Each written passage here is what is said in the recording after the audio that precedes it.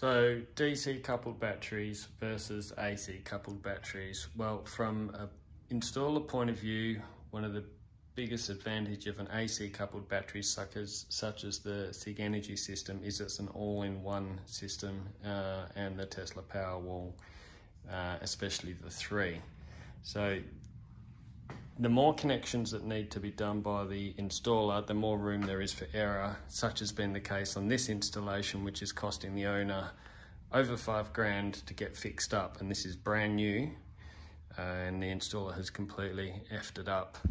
So let's have a look at all the connections. We've got about eight there. And then you've got another four going into the switchboard for the backup.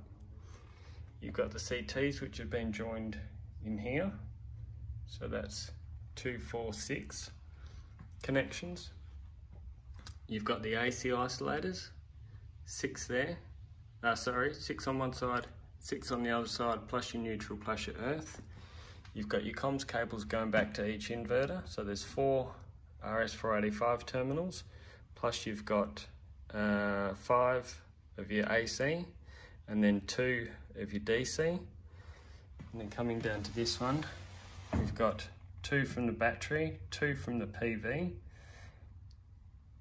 two lots of RS485, so that's eight. Three from the AC, sorry, yeah, three, because this is single phase, three from the AC, two more for the voltage references, because it's a three phase system, and then the battery, we've got two terminals in there, plus RS485 again, as opposed to a Sigenergy system, which has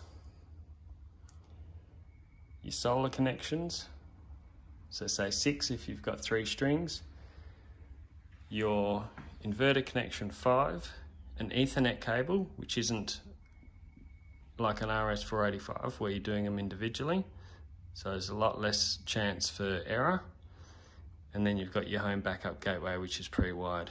So much faster to install an AC coupled system than it is to install one of these things where there's just cables and conduits and crap everywhere, not to mention how ugly it looks. So from an installer point of view, AC coupled is far better in my opinion um, because there's way less time spent on site and way less room for error and uh, costly time spent on site or getting a third party such as myself located in Perth, Western Australia, fixing these sort of fuck ups every week.